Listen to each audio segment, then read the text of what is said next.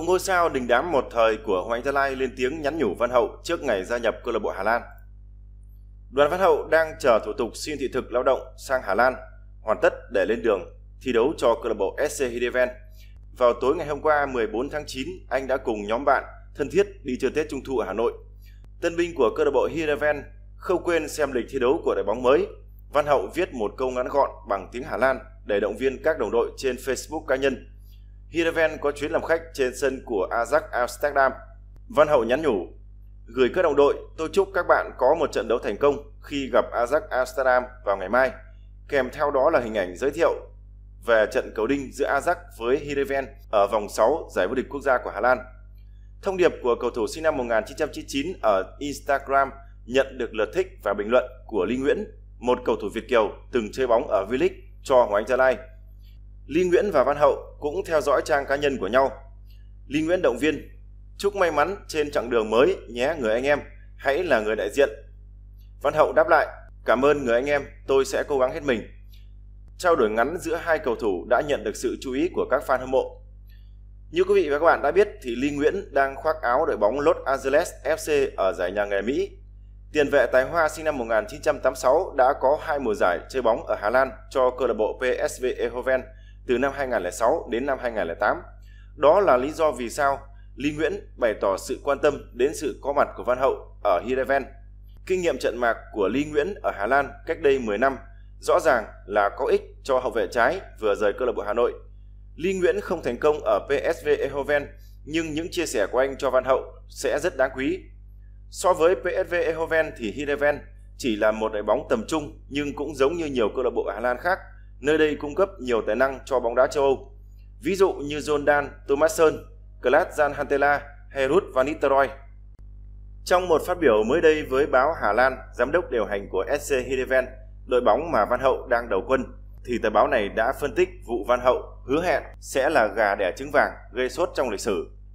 Ở tuổi 20, Văn Hậu là cầu thủ Việt Nam đầu tiên chơi ở giải vô địch quốc gia của Hà Lan với mức lương 436.000 euro một năm dành cho anh là tương đối cao so với mặt bằng chung của đội bóng. Tuy nhiên, trong một cuộc phỏng vấn mới đây, giám đốc điều hành của câu lạc bộ SC Heerenveen là ông Roger mong đã trả lời chắc nịch trên tờ The Telegraph rằng tất nhiên số tiền đó có cách để kiếm lại. Chúng tôi nhìn thấy nhiều cơ hội cả về thể thao lẫn thương mại tại Việt Nam.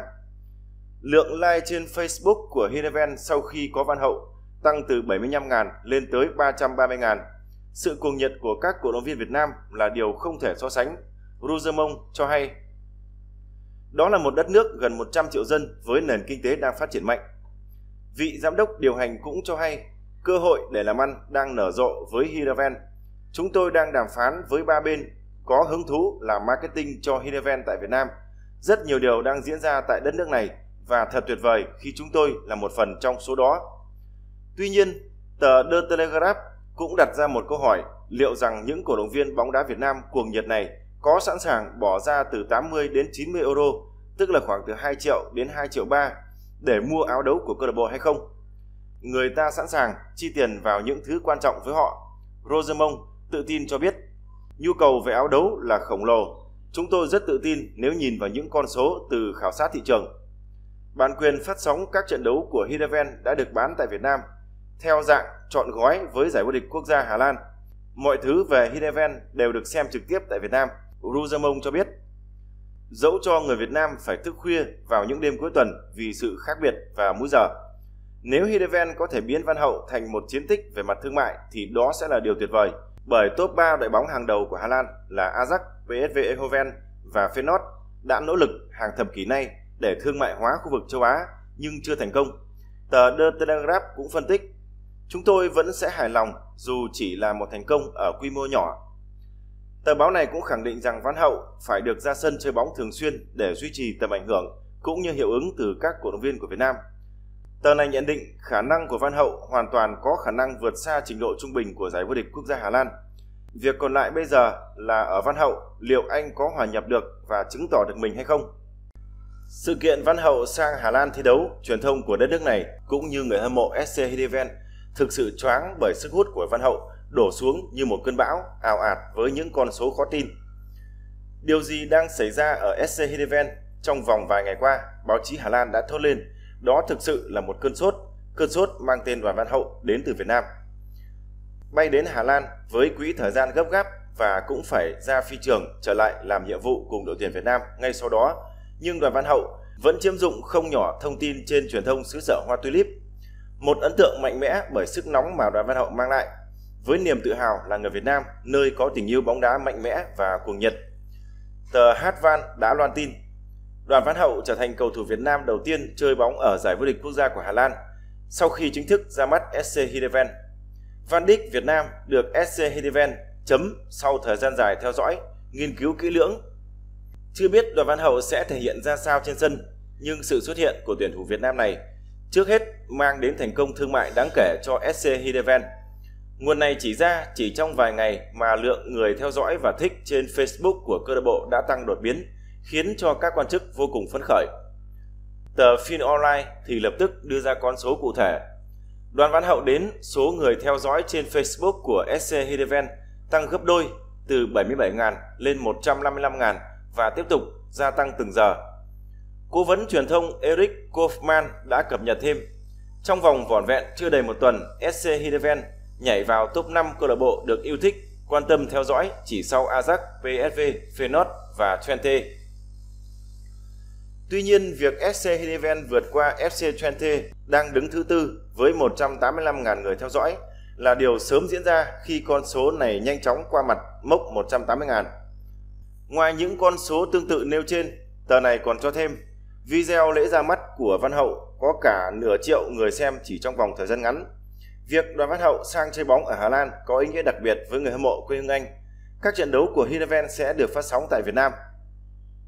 Phóng viên The Mir trong lúc cập nhật thông tin nóng không quên tranh thủ đăng tải hình ảnh Đoàn Văn Hậu lên trang cá nhân giới thiệu về hậu vệ trái 20 tuổi của tuyển Việt Nam. Anh cũng chính là người chia sẻ hình ảnh của huấn luyện viên trưởng SC Heerenveen Johnny Jansen thân mật trò chuyện, hỏi han học trò mới Đoàn Văn Hậu, cũng như hành trình trở lại làm nhiệm vụ tại đội tuyển Việt Nam trên đất Thái Lan. Một trong những vấn đề khiến cho giới chuyên môn và người hâm mộ lo lắng khi Văn Hậu sang thi đấu ở châu Âu đó là rào cản ngôn ngữ và khác biệt về văn hóa. Nhưng câu lạc bộ Hà Nội cho biết không phải lo về vấn đề này.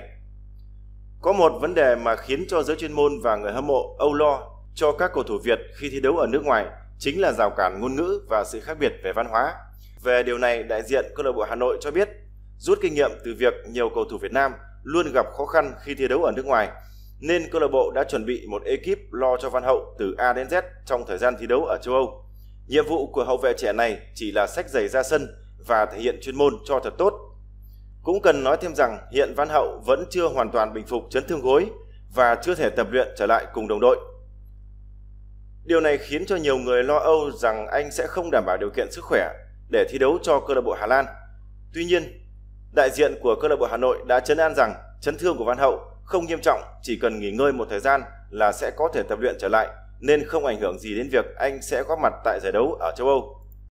Nhân sự cố đáng buồn diễn ra trên sân vận động Hoàng Đẫy khi một cổ động viên bị bắn pháo sáng đã gây bỏng nặng và nhập viện khẩn cấp, thì pháo sáng cũng là vấn nạn tại giải vô địch quốc gia của Hà Lan. Chắc hẳn hậu vệ của đội tuyển Việt Nam không thể ủng hộ hành vi đốt pháo sáng làm loạn trận đấu. Ban tổ chức V-League sẽ có hành động để xử lý điều này. Còn về phía cá nhân Đoàn Văn Hậu, anh phải làm quen với những hình ảnh như vậy. Do giải vô địch quốc gia của Hà Lan cũng bạo lực chẳng kém V-League, thậm chí còn kinh khủng hơn nhiều, ngay tại chính câu lạc bộ Heerenveen. Vào tháng 4 vừa qua, đội bóng của Văn Hậu đã chạm trán câu lạc bộ Feyenoord và nếm trải mùi pháo sáng bởi một nhóm Ultras ngay trong khi trận đấu đang diễn ra, một loạt rocket được fan của Feyenoord bắn như tên lửa từ bên ngoài sân vận động vào, khiến cho các cầu thủ trên sân một phen hú hồn. Đó chỉ là một trong rất nhiều những dẫn chứng về thói quen bạo lực tại giải bóng đá của Hà Lan, nơi các cầu thủ thường xuyên phải thi đấu dưới bầu không khí mịt mù, khói pháo.